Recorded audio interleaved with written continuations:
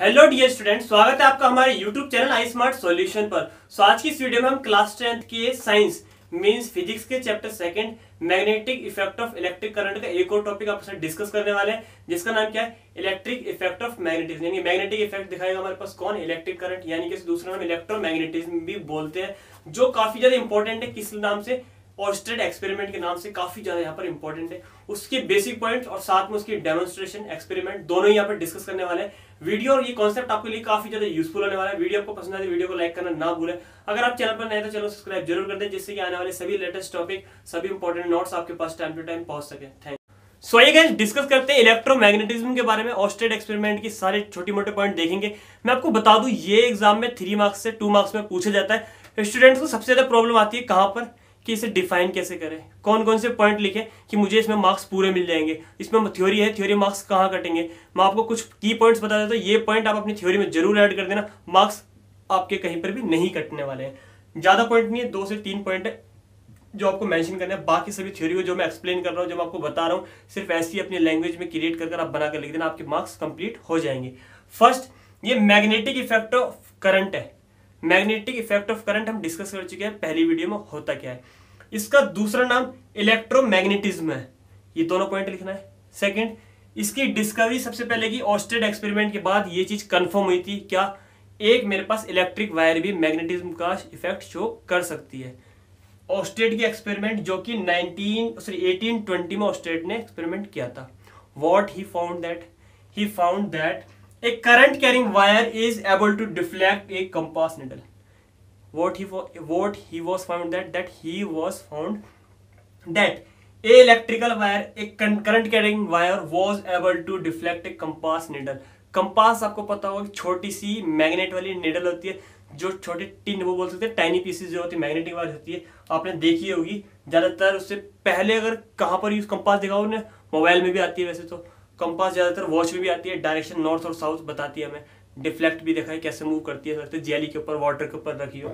उसे बोलते हैं कंपास निडल ये हमारे पास दो पॉइंट है जो आपको मेंशन करना है। थर्ड पॉइंट क्या है? एक current flowing in a wire अगर किसी भी वायर में अगर करंट फ्लो हो रहा है always gives rise to magnetic field around it यानी कि मेरे पास किसी भी वायर में अगर करंट फ्लो हो रहा है, जितनी ज़्यादा मैं करंट की स्ट्रेंथ बढ़ाता जाऊँगा, वैसे वो मैग्नेटिक फ़ील्ड की स्ट्रेंथ इंक्रीज करता चला जाएगा।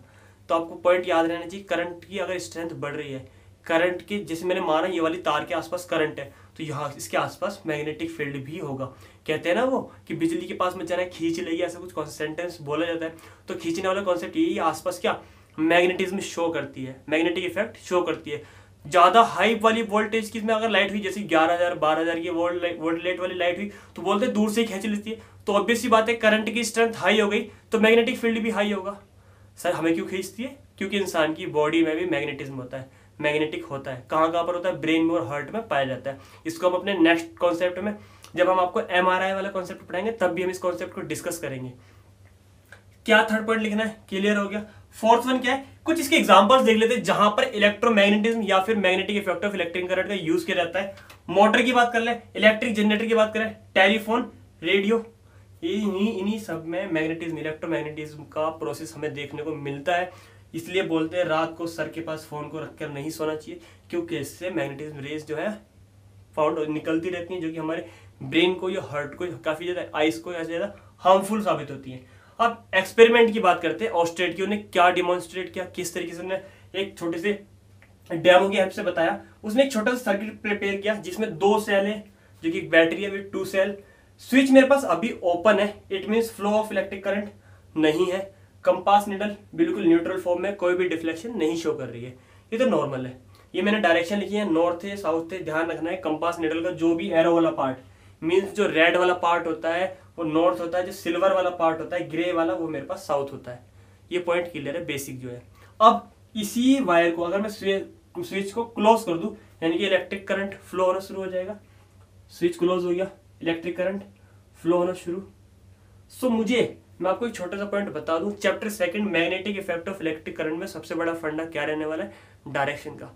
मार्क्स पक्का बच्चों के इसके ऊपर कटने के चांसेस रहते हैं। डायरेक्शन वाला कॉन्सेप्ट बच्चों को पूरे चैप्टर में क्लियर हो ही नहीं पाता।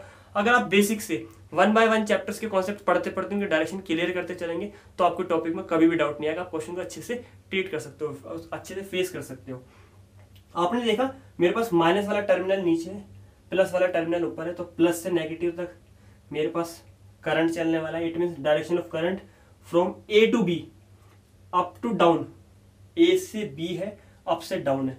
अगर मैं नीचे पॉजिटिव ऊपर नेगेटिव कर देता, मेरे पास बी से ए होता डाउन टू अप होता। दोनों ही केस आ सकते हैं। एग्जामिनर ज़्यादातर जो बुक्स में होता है, उसका उल्टा देते हैं, ताकि बच्चा कंफ्यूज हो। तो ताकि आप क्वेश्चन को अच्छे से समझे कॉन्सेप्ट क्या है, तब आपको बिल्कुल भी परेशानी नहीं होने वाली है। जैसे भी इस तार में, इस वायर में करंट फ्लो होगा, वैसे ही ऑस्ट्रेट ने क्या देखा?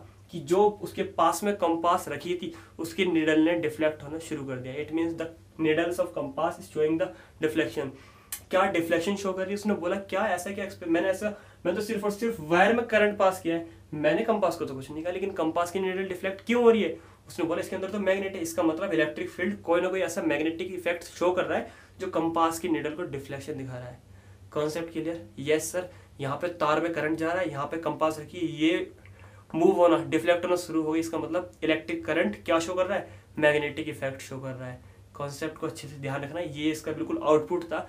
मैग्नेटिक इफ़ेक्ट कैसे कैसे शो किया? ये किसने बताया? मैं ऑस्ट्रेड ने बताया। 1820 में बताया। तीनों पॉइंट अपनी थ्योरी में मेंशन कर देना, तीनों चारों पॉइंट आपकी थ्योरी में मार्क्स कटने के बिल्कुल चांसेस नहीं है। दोनों ही डायग्राम बना देना है। सिर्फ़ और सिर्फ़ टू से फाइव मिनट का केस है। जैसे जैसे मैंने एक्सप्लेन करे, इन्हीं सबको चारों पाँचों पॉइंट को लिखो की पॉइंट्स को अच्छे से रिवाइज करो, दोनों डायग्राम बनाओ, आपका कॉन्सेप्ट थ्री मार्क्स का बिल्कुल रेडी हो जाएगा। होप्स कॉन्सेप्ट और इसमें पढ़ाए गए सारे पार्ट आपको अच्छे से क्लियर होंगे। वीडियो आपको पसंद आई होगी वीडियो आपको पसंद आए वीडियो को लाइक करना ना भूलें। अगर आप चैनल पर नए तो चैनल सब्सक्राइब ज़रूर कर दें, जिससे कि आने वाले सभी नोट्स इंपॉर्टेंट टॉपिक्स आपके पास टाइम टू टाइम पहुँच सके। थैंक्स